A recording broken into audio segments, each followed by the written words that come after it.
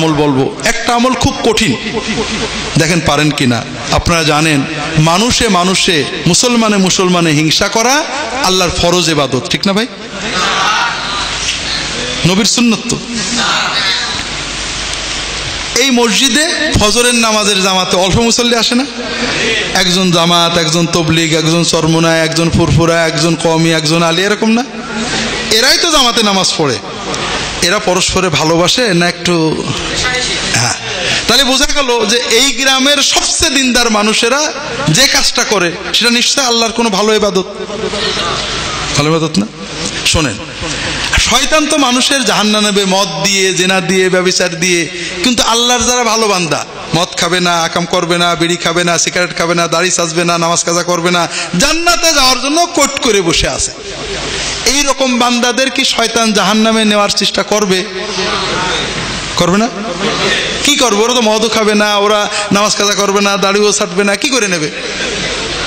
এই জান্নাত পাগল মানুষদেরকে দোজকে নেওয়ার জন্য শয়তানের তিনটে অস্ত্র আছে।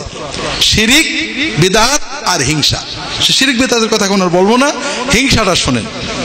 হিংসা মদ খাওয়ার মতো একটা হারাম কাজ।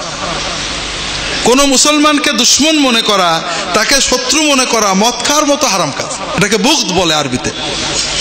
তবে মদ খেলে একটা গুণা হয় আর হিংসা বিদ্বেষে গুণা তো গুণা হয় নেক আমল পুড়ে পুড়ে ছাই তাহলে শয়তানের কোনটাই লাভ বেশি? হ্যাঁ, এই জন্য যাদের নেক আমল নেই তাদের হিংসা কম। দেখবেন নাচ গান করে সিনেমা করে কিন্তু এত হিংসা করে না। কিন্তু আমরা যারা দিনদার তাদের ভিতরে হিংসা বেশি। কারণ শয়তান জানে, এরা দু একবার নাচ গান করলে দোজকে নিয়ে যাবে, না তো অবাক করে জানাতে চলে যাবে। কাজে এমন কাম দেব যেমন সব নেকামল পুড়িয়ে ছাই হয়ে যায়। তো ভাইরা হিংসা শিক্ষা হয় দুই দল মানুষ। এক দল হলো রাজনৈতিক নেতারা, তাদের স্বার্থটা কি? ক্ষমতায় যাওয়া, ঠিক না? তারা ক্ষমতায় যাওয়ার জন্য আমাদেরকে কি শিখাই ও দেশের দুশ্মন, ও স্বাধীনতার দুশ্মন, ও জাতির দুশ্মন, ওর দুর্বিন ওর মার, ধর, এগুলো, ঠিক না? আর এক শ্রেণি হিংসা শিখাইছিল হুজুররা। কি স্বার্থে? মুরিদ, মহব্বত, ভক্ত ঠেকানোর স্বার্থে। তা আমরা রাজনীতিও করব, হুজুরদের কাছেও যাব। আমি কোনো হুজুরের খারাপ বলছি না, তবে আপনার একটা পরামর্শ দিচ্ছি। আমার কথাই, রাজনীতিবিদের কথাই নিজের মনে হিংসা আনবেন না। হুজুরদের কাছে যেতে হবে, উপায় নেই। তবে হুজুর যদি হিংসার কথা বলে বলে, আল্লাহ, হুজুর যা বোঝে বোঝে, আমিও তো বুঝে শুধু নে তোমার নবীর সব উম্মতের আমি ভালোবাসি। কথা বোঝেননি? আল্লাহর প্রিয় সবচেয়ে বড় ইবাদত হলো যে আপনি আল্লাহর দিকে তাকিয়ে নবীজি সাল্লাল্লাহু সাল্লামের দিকে তাকিয়ে যে অন্তত লা ইলাহা ইল্লাল্লাহ বলেছে মোহাম্মদ রাসূলুল্লাহ বলেছে, আল্লাহ আল্লাহ রসুলকে মানে অস্বীকার করার মতো কিছু করেনি। এরকম সকল ইমানদারকে আপনার ভাইয়ের মতো, আপন ভাইয়ের মতো, রক্তের ভাইয়ের মতো তাকে ভালোবাসবেন, তার জন্য দোয়া করবেন। এটা হলো আল্লাহর প্রিয়তম একটা নেক আমল। যখন আপনার এই অন্তরের ভালোবাসাটা আল্লাহর জন্য হবে। আলে মুলামা সব আলেম আল্লাহ, আমি অত বুঝি নে। অমক হুজুর দিনের কথা বলে, অমক হুজুর দিনের কথা বলে।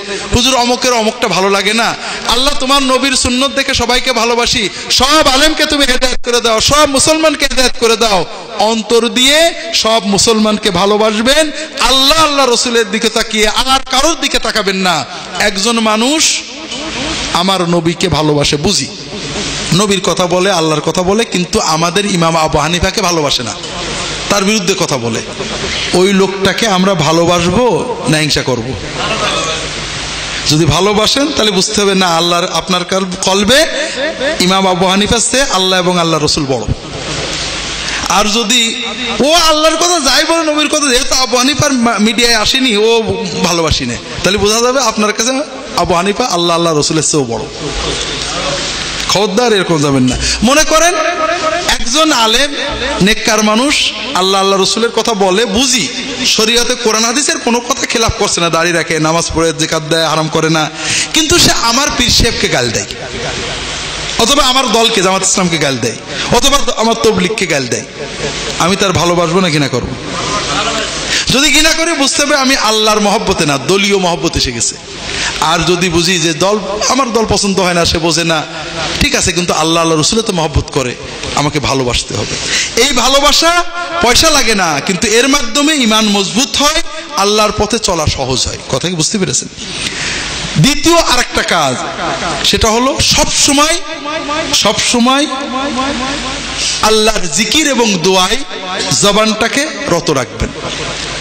জিকির দোয়া করার জন্য অজু গোসল জরুরি না। জিকির এবং দোয়া, দুটো বিষয় বোঝেন। দোয়াও জিকির।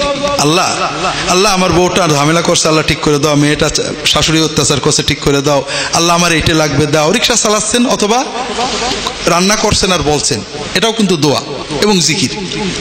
কোনো মুসলমান, নারী, পুরুষ, যে কোনো অবস্থায় মাথায় কাপড় থাক না থাক, গায়ে কাপড় থাক না থাক অজু থাক, না থাক, যখন আল্লাহর সাথে কথা বলে, আল্লাহর কাছে কিছু চায়, আল্লাহর কাছে মনের আবেগ প্রকাশ করে, যতক্ষণ সে কথা বলে, একটা ফরজ এবাদত পালনের মতো সব তার আমল নামায় জমা হতে থাকে।